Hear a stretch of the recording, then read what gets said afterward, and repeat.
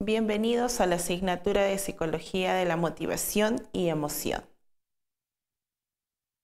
La motivación es un proceso psicológico en el cual la conducta es impulsada, tiene fuerza para lograr sus metas. Eh, por ejemplo, Pedro es un trabajador que siente que en base a los incentivos que él tiene, puede lograr todas las metas que se ha propuesto en ese espacio laboral. Por tanto, la motivación tiene todo un ciclo ¿no? que nos va a llevar, que nos impulsa a llevar o a tener un objetivo.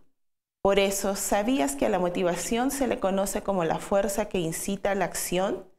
¿Sabías que todo este proceso empieza una necesidad o carencia consciente de la persona?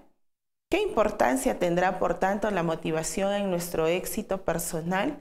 ¿Cómo influyen nuestros pensamientos y el medio social en que nos desarrollamos hacia la motivación? Pues todos estos temas los revisaremos en la presente asignatura.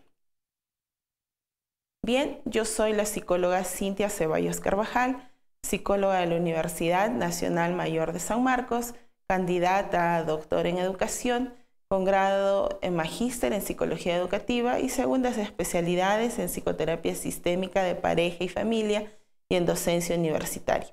Además, laboro en la clínica Tobar y realizo actividades como entrevista, evaluación diagnóstico e intervención psicológica en problemas familiares de conducta y aprendizajes en niños y adolescentes. Espero tener la oportunidad de conocerte y acompañarte en nuestra aventura de aprender. Bienvenidos.